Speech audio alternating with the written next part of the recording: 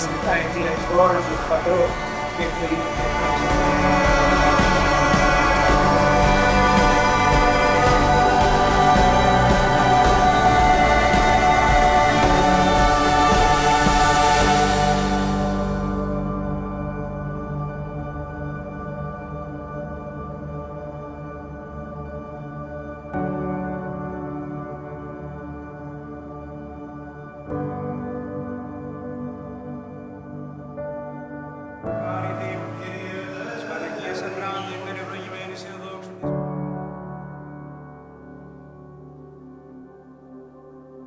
του Στέφανο του Θεοβάλου,